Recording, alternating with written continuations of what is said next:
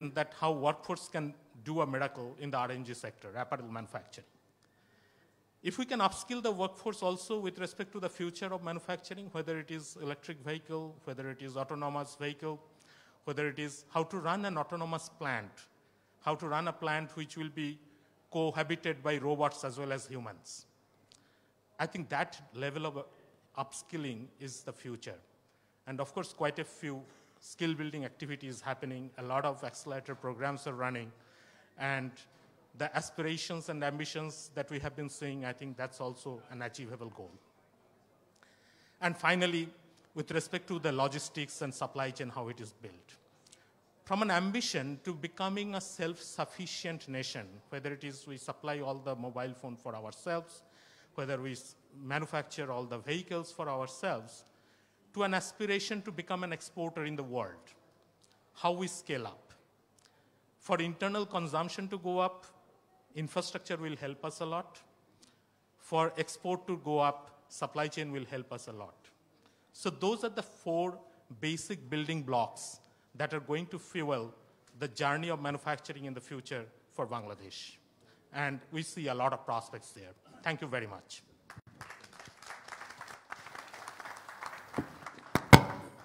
Thank you, Mr. Arijit Chakraborty, the managing partner of PwC Bangladesh, uh, for your.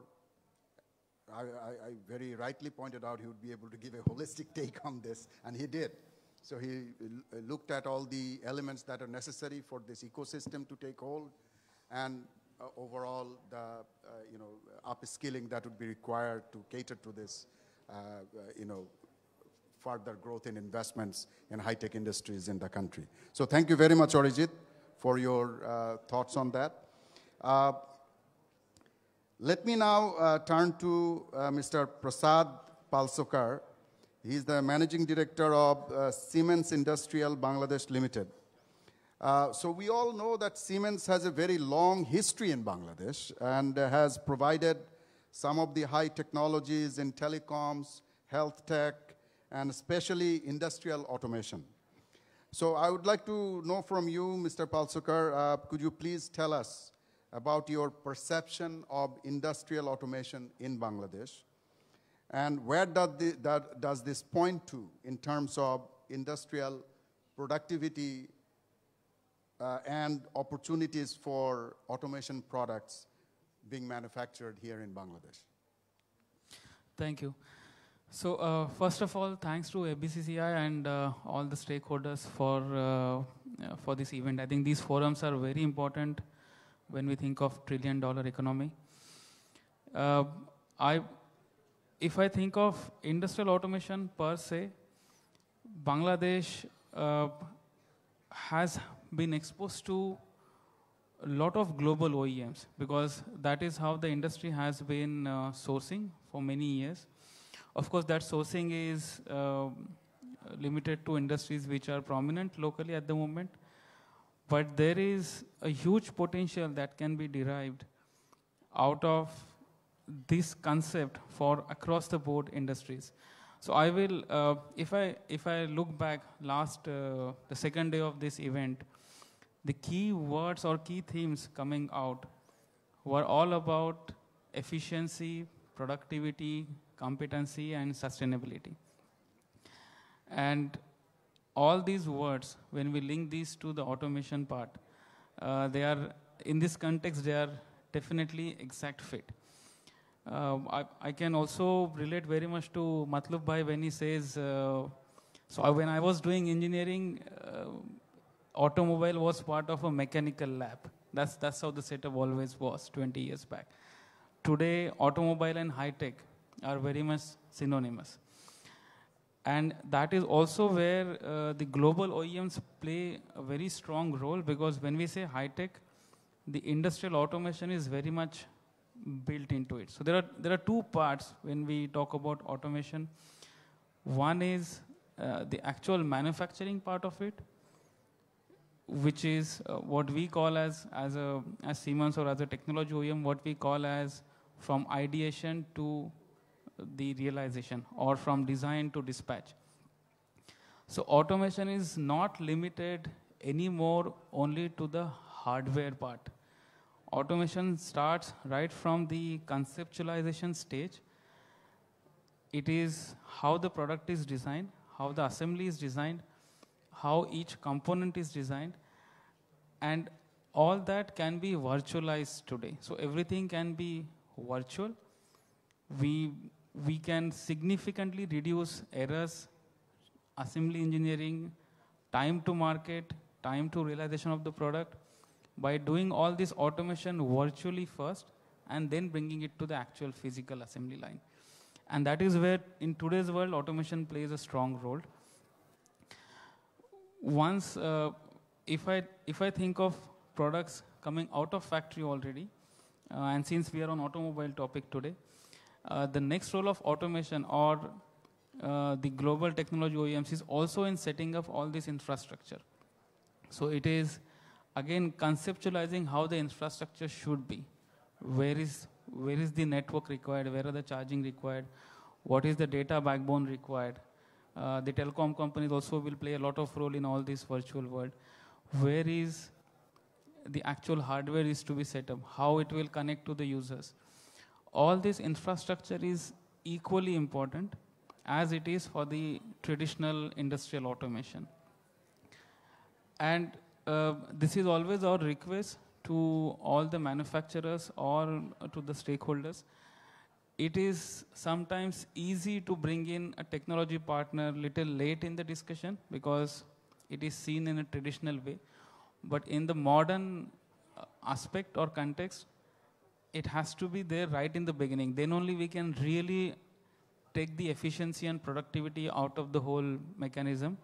Uh, discussing this little late, maybe we are not utilizing it fully. And I would also request, since we have uh, colleagues representing the government as well, that policy has a major role to play in this adoption. Uh, because the needs of the users are going to be different. So what the adoption of a commercial e-vehicle infrastructure or manufacturing would need very different incentives because maybe for them capex is a bigger problem. Uh, most of the transport uh, uh agencies or transport uh, wings may not have right capex to start with. For a passenger vehicle segment, that need is maybe not capex, it is range anxiety or the infrastructure. For a two-wheeler owner, maybe it is not also the infrastructure because for him it is the socket at home that he would use or she would use. But for them, the safety, reliability, service are the aspects. So each user would have different needs. Uh, policy has to, of course, drive those incentives for those needs. And uh, we can always, uh, we, are, we are in Bangladesh for last 65 years. We can always bring in global learning so that Bangladesh learns. It is an advantage, I would say, uh, that it is uh, there are countries who are ahead in this cycle and we can learn from the mistakes and we don't repeat those here and we can always play a role in that. Thank so thank you, Mr. Prasad Palsukar. Yes, uh, and thank you for your offer to help with in the area of uh, having segmented or differentiated policy instruments uh, for industrial automation. That's, that's a very, very good thought on that. Uh, so uh, we are very lucky to have uh, many luminaries from our uh, industry here in this room.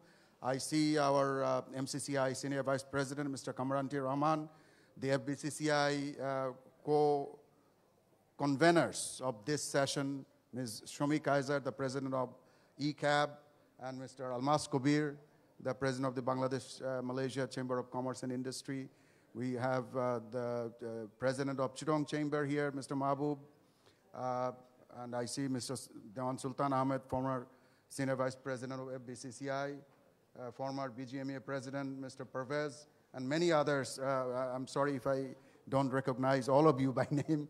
Uh, but what we would like to actually do is, uh, you know, take questions from you. we have, yeah, as you can see, a very uh, stellar, you know, group of uh, speakers here. That doesn't include me, by the way. It's the others who are stellar.